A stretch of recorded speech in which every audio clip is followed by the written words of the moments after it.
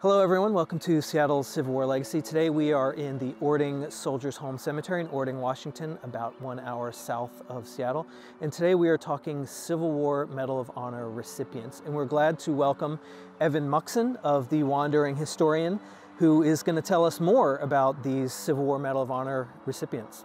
Well, first let me say thank you for having me I'm glad to be working with you. I really respect what you do. This particular Medal of Honor recipient is, as you can see, George Houghton. Now, he got his Medal of Honor late in the Tullahoma campaign at a battle called Elk River in Tennessee.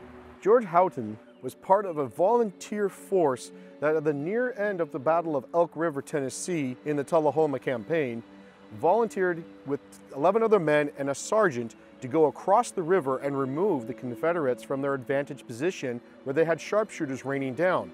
This was done at the request of General Beatty. He demanded of Colonel Moore that he needs 12 men and a sergeant, good character, to go across the river and take out that enemy position. But you better not send a man with little character because he may not come back. After George Houghton's Civil War service, he eventually, like many Civil War veterans, made his way out to Washington. And some records indicate that he was either a sawyer or a lawyer. One of the two, he was one of them, but he made his way out to Orting with his wife, who unfortunately due to the records I found, was never listed by name, only as Mrs. George Houghton. Unfortunately, at the age of 73, he died due to internal bleeding.